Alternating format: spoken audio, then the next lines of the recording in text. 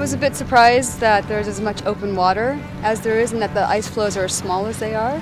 Because when I look at the satellite imagery of where we are right now, it looks like we should be close to 100% ice concentration. And what we're finding is that a lot of times we have maybe only 50% ice, 50% open water.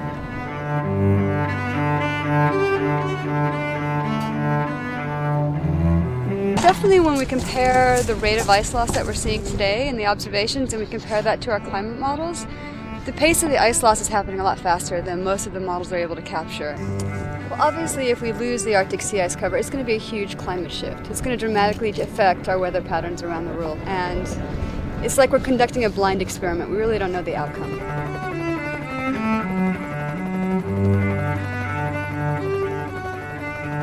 This year, the Arctic sea ice has melted more than ever before.